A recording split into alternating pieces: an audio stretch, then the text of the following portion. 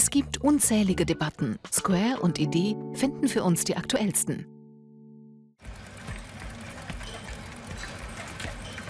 Autsch, jetzt geht das schon wieder los. Was ist denn? Du bist ja ganz blass. Wo tut's denn weh? Ich hab einen Krampf. Lass mal sehen. Das mag schon ein Krampf sein. Das letzte Mal hattest du das im Kino. Du hast vielleicht eine Fibromyalgie, die Krankheit des Jahrhunderts. Fibro was? Was für eine Jahrhundertkrankheit? Ich nehme jetzt ein Paracetamol. Das wird schon werden. Hast du welche? Ganz bestimmt nicht. Schmerzmittel sind nicht ohne. Wer die einwirft und es dann nicht besser wird, muss zu stärkeren Mitteln greifen. Du solltest den Ursprung deiner Schmerzen herausfinden. Chronische Schmerzen sind ernst zu nehmen. Das war sicher nur eine falsche Bewegung. Ich nehme eine Tablette. Wir haben echt Glück, denn wir haben Medikamente zur Verfügung. In Afrika sterben Menschen an Krebs und AIDS unter entsetzlichen Schmerzen, weil es kein Morphium gibt. Sie sterben aber auch nicht an einer Überdosis. In den USA sterben Leute an Schmerzmitteln, weil sie süchtig danach sind. Wie Michael Jackson, Prince oder Carrie Fisher, Prinzessin Leia. Ich spreche nicht über Filmstars, sondern über Politik. Wie ungerecht die medizinische Versorgung in der Welt verteilt ist. Da ich sowieso nicht weitermachen kann. Tut's noch weh? Weniger. Aber in spätestens 20 Minuten werden die Tabletten wirken. Inzwischen, schau mal. Okay. Also auf zur Debatte. Heute bei uns zu Gast Emmanuel Kabengele Mpinga, Professor für Gesundheit und Menschenrechte an der Universität Genf, Verfasser von Texten über politische Gewalt und Gesundheit. Und Fabrice Laurin, Psychiater am Universitätskrankenhaus Montpellier, Schmerzexperte, Historiker und Autor. Aïe, aïe, aïe, aïe. Schmerz ist eine Art Wächter des Lebens. Es ist paradox, aber es gibt Menschen, die ohne Schmerzempfinden geboren werden. Sie sind genetisch so veranlagt. Ich glaube, sie sind vom Stamm der Kuresh in Pakistan. Es existiert ein Genomtyp, der Schmerz unempfindlich macht. Die Lebenserwartung ist jedoch sehr kurz. Diese Leute sterben sehr jung, weil sie vielleicht an einer Zahnentzündung erkranken, diese nicht spüren, die Infektion jedoch zu einer Blutvergiftung führt. Daher sage ich, dass Schmerz unser Leben hütet, auch wenn er Todesangst verursachen kann. Aber an der Angst vor dem Tod stirbt keiner. Wer allerdings keine Schmerzen spürt, stirbt auf jeden Fall früher. Schmerz ist ein fester Bestandteil des menschlichen Daseins. Dank ihm erkennen wir Gefahren für unsere Gesundheit. Euh, je veux dire que wir stehen einem Phänomen gegenüber, das sich die Krankheit des sozialen Körpers nennt. Es ist nicht mehr nur der Körper einer Person, der dauerhaft Schmerzen empfindet. Die Gesellschaft leidet als Ganzes. Deshalb ist die Schmerztherapie auch so wichtig, insbesondere in der Vorbeugung. S'occuper des patients douloureux, mais surtout dans la prévention. Akute Schmerzen können kurzfristig behandelt werden.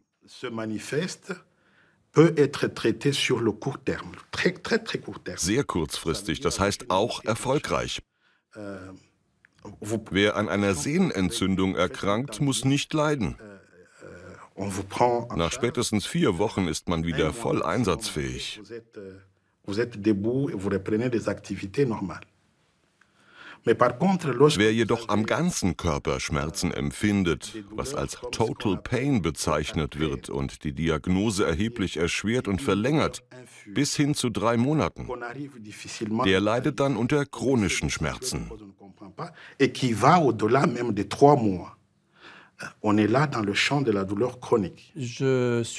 Ich bin nach 30 Jahren immer noch überrascht, wenn ich, wie heute Morgen im Krankenhaus, Patienten mit chronischen Schmerzen treffe, die zum Beispiel an Fibromyalgie leiden, eine der aktuell bekanntesten chronischen Erkrankungen im Schmerzbereich.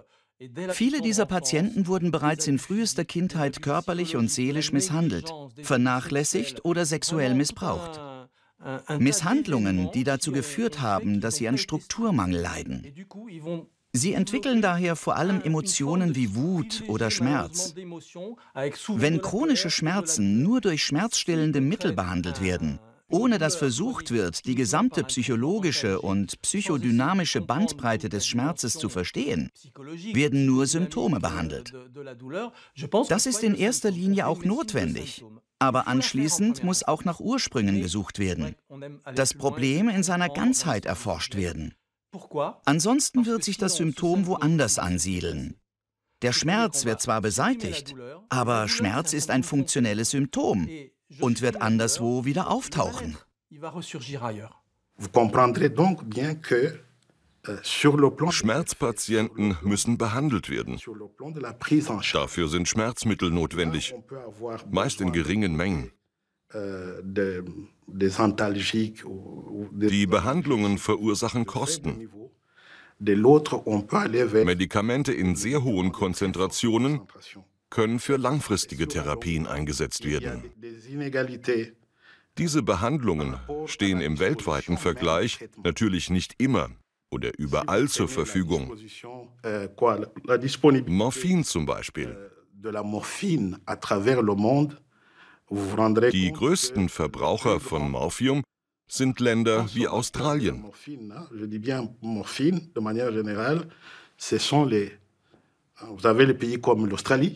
Auch die USA und europäische Länder haben einen hohen Morphinkonsum. Euh, In Afrika hingegen können jedoch nur knapp 4% des Morphinbedarfs gedeckt werden de besoins de morphine sont couverts. Natürlich ist es notwendig, die Schmerzen von Krebspatienten zu lindern. Natürlich müssen Geburtsschmerzen bekämpft werden, wenn sie zu stark sind. Aber es gibt Fälle, in denen Schmerzmittel verordnet werden, die die Patienten konsumieren, ohne wirklich den Bedarf zu haben. Bei chronischen Schmerzen hilft, ganz ehrlich gesagt, keine Therapie. In unseren Studien helfen sie in 30, 40 Prozent der Fälle also so viel wie Placebos. Wenn ich sehe, wie Schmerzpatienten mit Opioiden behandelt werden, denke ich, dass diese besser einem Krebspatienten mit Metastasen verabreicht werden sollten. Die Verschreibung von diesen Wirkstoffen ist oft unangemessen. Mit meinen Studenten habe ich Untersuchungen angestellt. Als Grundlage diente uns die Studie, die Marco Musi im Aostatal gemacht hatte. In dieser Region existierten Mythen. Das heißt stark verwurzelte Überzeugungen. Die Frage, die ich stelle, ist, an was denken Sie, wenn Sie Morphium hören? Nicht nur an Schmerz, sondern auch an Drogen. Morphin ist eine Droge und das bedeutet Tod. Morphine auf Französisch bedeutet feiner Tod.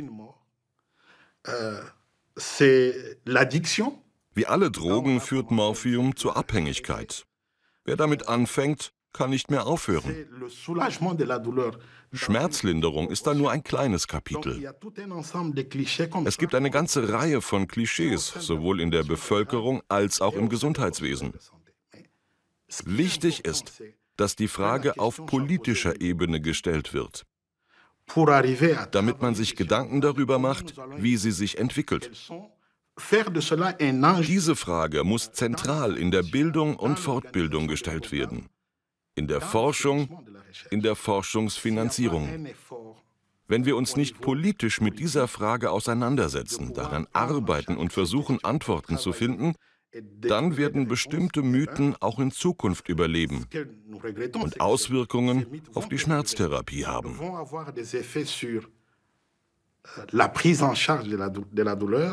Alors en France, hein, ein Viertel der Patienten, die im Anti-Schmerz-Zentrum in Montpellier stationär behandelt werden, sind auf Entzug von Opioiden. Sie sind Vollzeit auf Entziehungskur. Ich denke, da haben wir die Spitze erreicht. Und gerade im Zusammenhang mit Opioiden wollen neue Patienten bei ihrer Einweisung seltsamerweise auf Medikamente ganz verzichten. Sie wollen einen völligen Entzug. Sie wollen Therapien ohne Medikamente. Denn die besten Schmerzmittel befinden sich in unserem Gehirn. Die allerbesten. Die nennen sich endogene Opioide. Sie sind maßgeschneidert. Wenn ich den Pyongyang-Marathon laufe, werde ich Morphine ausschütten, die meine Schmerzen unterdrücken. Das heißt, wir können den Selbstheilungsprozess des Patienten fördern. Wir können körpereigene Opioide stimulieren, individuelle Lösungen finden, vor allem in der Bewegung.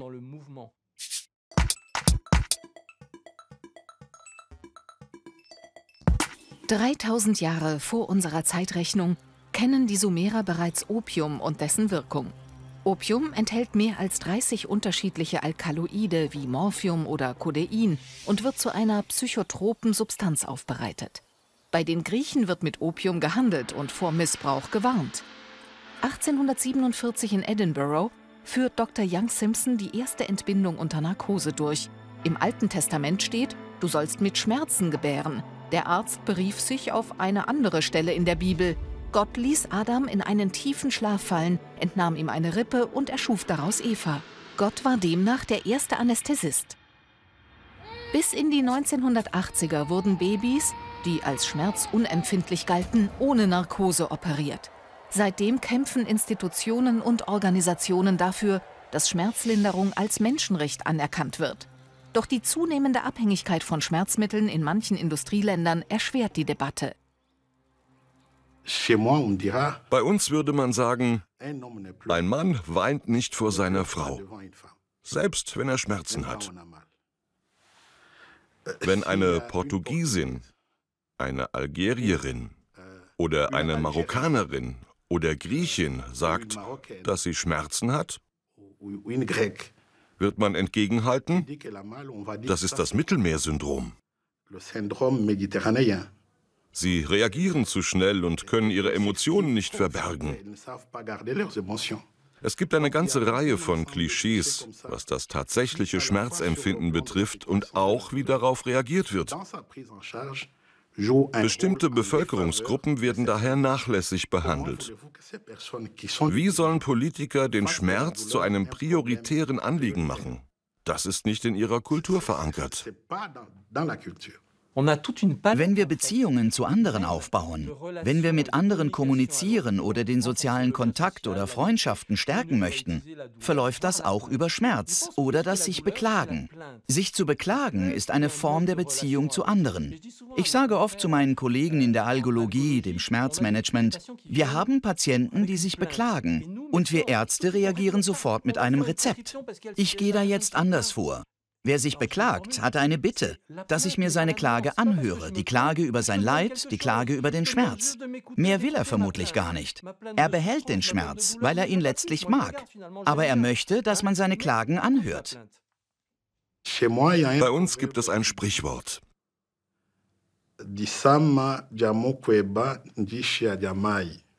Ich übersetze Ihnen das jetzt wortwörtlich. Die Sama bedeutet Krankheit.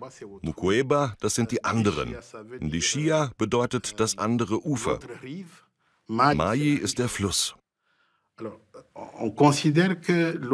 Es bedeutet, dass man die Schmerzen einer anderen Person nicht empfinden kann. Die eigentliche Botschaft dieses Sprichwortes ist, wenn Sie nicht selbst erleben können, was der andere erlebt, können Sie auch die Auswirkungen nicht verstehen. Man muss also versuchen, den Schmerz des anderen verstehen zu lernen, sich diesen Schmerz anzueignen für ein besseres Leben in der Gesellschaft. La douleur das Gefühl der Empathie ist direkt mit dem Schmerzempfinden verbunden. Das ist unglaublich. Warum ist es bei uns Menschen so? Das weiß man nicht. Wir sind Säugetiere. Soziale Bindungen sind für uns grundlegend. Daher funktionieren Empathie und Schmerz auch zusammen. Wenn man jemanden leiden sieht, ruft das sofort Empathie hervor. Quelqu'un qui est en souffrance, il va tout de suite amener de l'empathie. Chronische Schmerzen sind mit Arbeitsunfähigkeit verbunden. Sie können bis zur Arbeitslosigkeit führen, zu gesellschaftlichen Stigmatisierungen und Diskriminierung.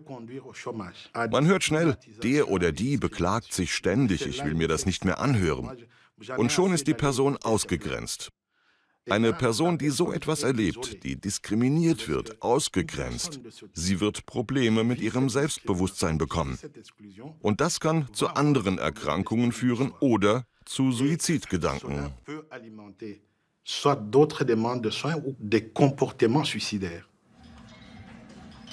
Das mit der Empathie stimmt. Bei Katastrophen versetzt man sich in die Lage der Angehörigen.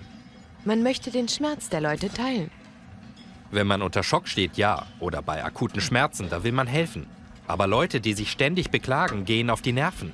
Uns interessiert auch nicht, was weit weg von uns passiert. Wie lange beschäftigen uns getötete Kinder in Syrien oder im Irak?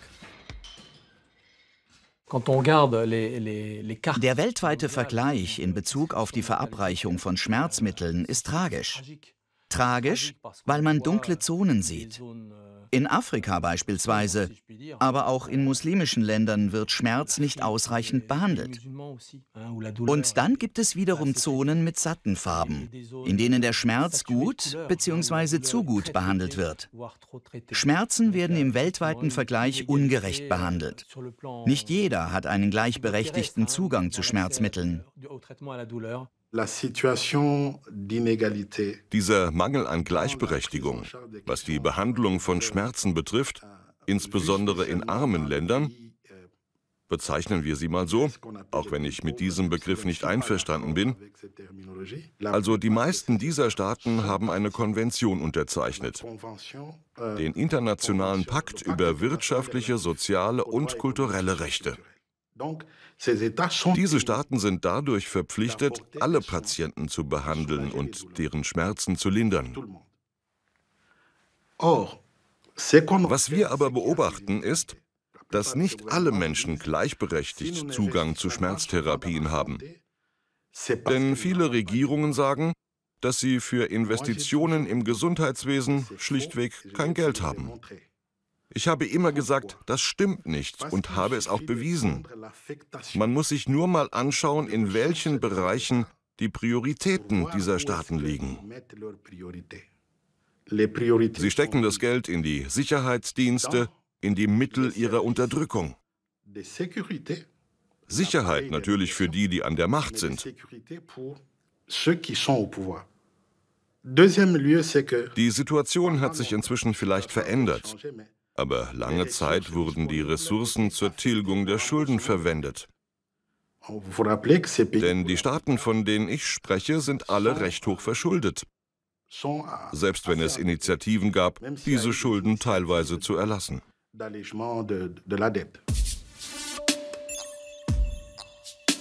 Zwei Millionen Amerikaner sind von opiumhaltigen Arzneimitteln abhängig. Mehr als 30.000 sind in den letzten 15 Jahren an einer Überdosis gestorben. Diese Sucht ist die größte Todesursache der unter 50-Jährigen in den USA. 2015 veröffentlicht die Nationale Arzneimittelsicherheitsbehörde eine Studie, die die Schmerzmitteleinnahme in sieben europäischen Ländern vergleicht. Die Briten stehen auf Platz 1 mit täglich 188 Einheiten pro Tag auf 1000 Einwohner. Die Spanier folgen mit 151. Platz 3 belegt Frankreich mit 121 Einheiten täglich.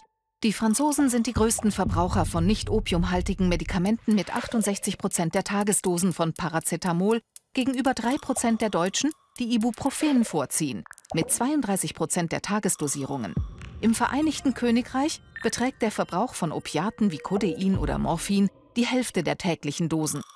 Der Anteil von Entwicklungsländern am weltweiten Konsum von Morphium beträgt nur 6 Prozent, eine schmerzliche Kluft. In Afrika, insbesondere in Schwarzafrika, sind große religiöse Bewegungen eine Gefahr, weil sie den Leuten etwas vormachen. Sie nutzen den Glauben der Bevölkerung aus. Manche dieser Bewegungen wollen ihren Anhängern weismachen, dass Schmerzen von einem Fluch verursacht werden. Von bösen Geistern, Dämonen, die einen angreifen. Die Antwort darauf heißt beten. Die Gläubigen, die unter Schmerzen leiden, sollen beten, sie sollen fasten, um die Schmerzen, die die Dämonen in ihren Körper schicken, zu bekämpfen. Die Hälfte der Lebertransplantationen in Großbritannien steht in Verbindung mit Paracetamolmissbrauch. Und die USA und Kanada haben das Problem der Suchtkranken durch Opiate. Ich persönlich empfinde das nicht als Riesenproblem. Aber natürlich wird über Prince berichtet, über Michael Jackson und so weiter. Der Kern der Debatte ist jedoch, dass Opiate ein Suchtproblem darstellen. Und das muss man in einen globalen, weltweiten Kontext stellen. In den letzten Jahren sind die Zahlen explosionsartig gestiegen, bis hin zu einer geringeren Lebenserwartung in den USA. Im Zusammenhang mit Missbrauch von Opiaten, aber auch, weil Ärzte zu schnell und zu viel opiumhaltige Medikamente verordnen.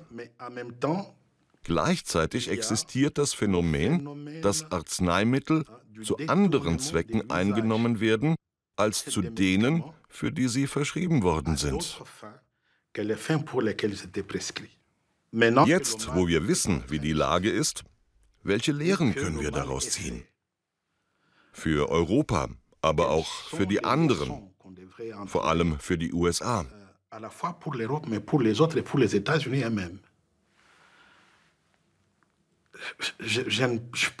Ich kann nicht anstelle der US-Behörden antworten. Aber ich denke, es ist an der Zeit, sich für eine andere Sozialpolitik zu entscheiden.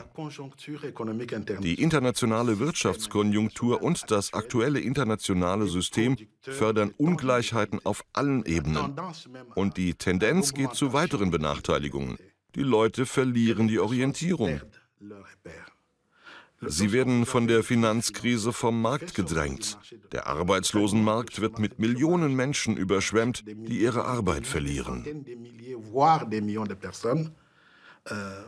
Ganz zu schweigen von der Subprime-Krise in den USA. In diesem Zusammenhang kann man sich die Frage stellen, welche Verantwortung trägt die Gesellschaft? Seit Ende des Zweiten Weltkriegs geht es mit uns bergauf. Der Babyboom zählt zu dieser Zeit, die von einem kollektiven Optimismus und Enthusiasmus geprägt war. In den 60er, 70ern kam dann die Hippie-Bewegung. Dann, ab den 1980ern, entwickelte sich der Individualismus und heute sind wir auf dem totalen Ego-Trip. Auf unserer Suche nach Spaß, Freude und Glück hat der Schmerz natürlich keinen Platz. Er muss beseitigt werden und das hat zu einer gesetzlichen Regelung des Schmerzes geführt. Man darf keine Schmerzen mehr haben. Die Frage der Schmerzen ist eine Frage des Menschenrechts. Und diese Frage ist auch eng mit anderen Rechten verbunden. Wenn Schmerzen nicht erleichtert werden, wirkt sich das auf das Gesundheitswesen aus. Aber nicht nur, sondern auch auf das Recht auf Erziehung und Bildung. Wenn ein Kind an Schmerzen leidet, weil es an Anämie erkrankt ist, wie soll es da den Unterricht besuchen?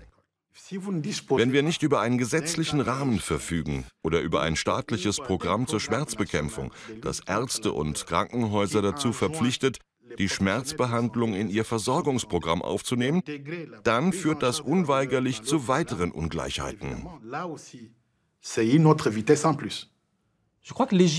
Ich denke, eine gesetzliche Regelung geht zu weit.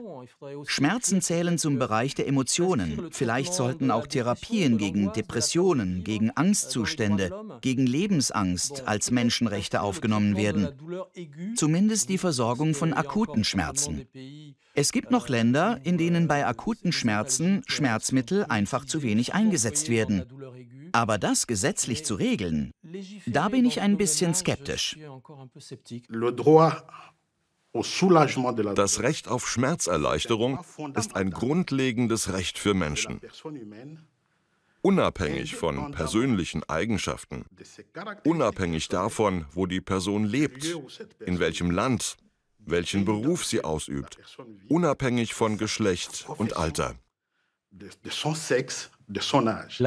Zur Schmerzbehandlung zählt aber auch die Aufklärung der Patienten.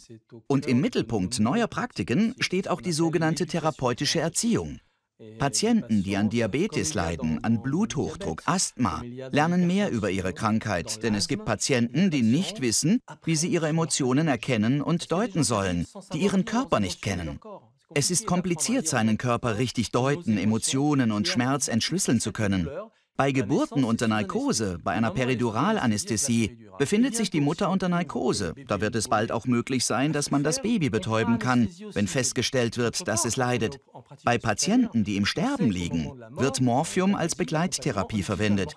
Diese beiden Extreme in unserer Lebenszeit finden unter Betäubung statt. Wir erleben sie nicht, wir befinden uns nicht in der Realität. Ob in politischer, kultureller oder wirtschaftlicher Hinsicht. Wird man sich Gedanken über eine korrekte Schmerzbehandlung in Krankenhäusern machen, wenn man nicht einmal Zugang zu einer stationären Behandlung hat?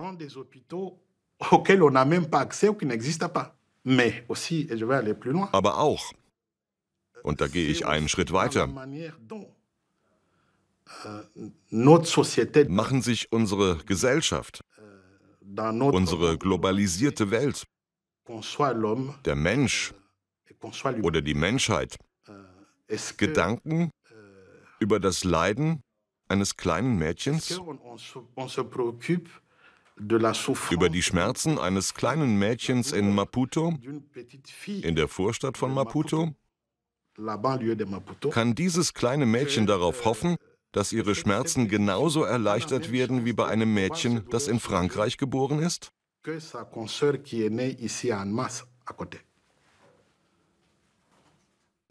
2058. Floristen verkaufen nur noch Blumensamen. Blumen durch Abschneiden Schmerzen zuzufügen, ist gesetzlich verboten. Wir verabschieden uns. Ihren Trennungsschmerz können Sie mit einem Replay auf unserer Website behandeln.